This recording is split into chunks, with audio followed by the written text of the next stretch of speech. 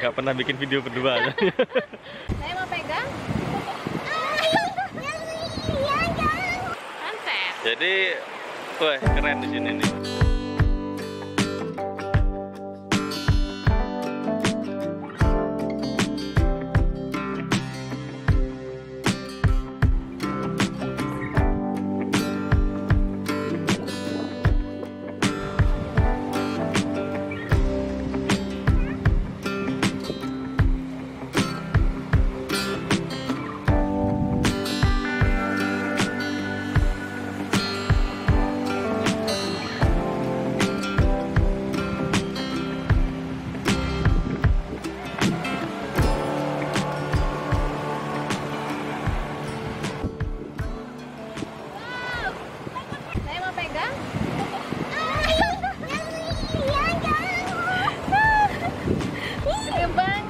Ini nanti dikasih aja ya.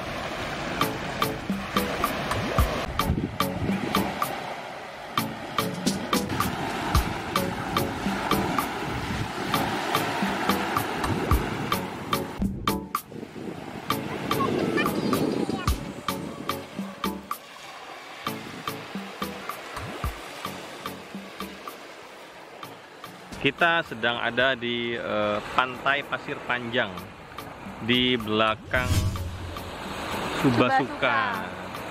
Sebenarnya kalau dulu kita seneng nongkrong sore hari di Pantai Tedis, Eh, cuma sekarang Pantai Tedis lagi direnov kayaknya, nggak tahu buat apa.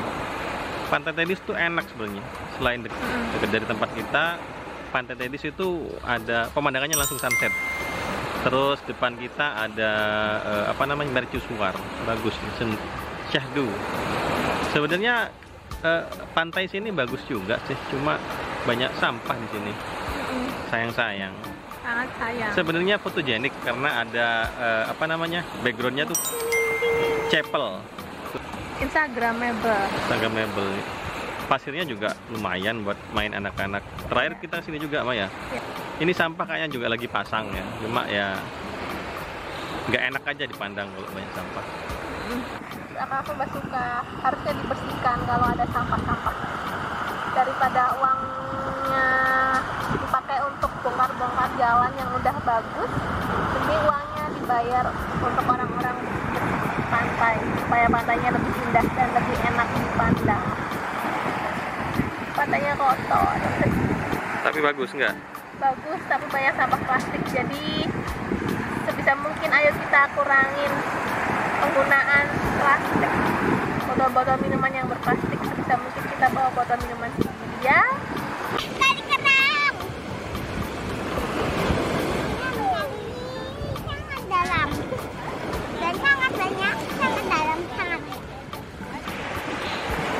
Ada yang nggak mau pulang, namanya Kanaya. Kita tunggu 10 menit lagi. Ayo dah pulang Neng. Jangan sekarang. Udah malam ini.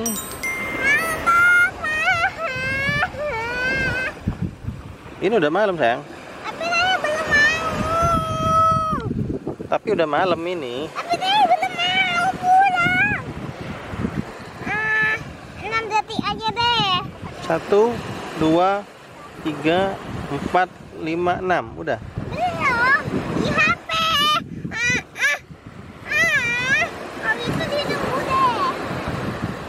Apa pulang ya? Dong.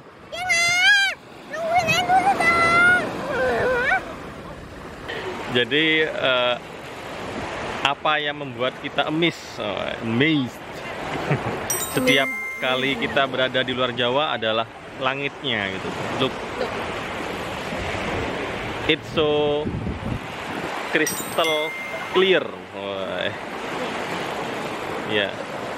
Jadi eh, langit di luar Pulau Jawa itu cenderung lebih bersih, Maya.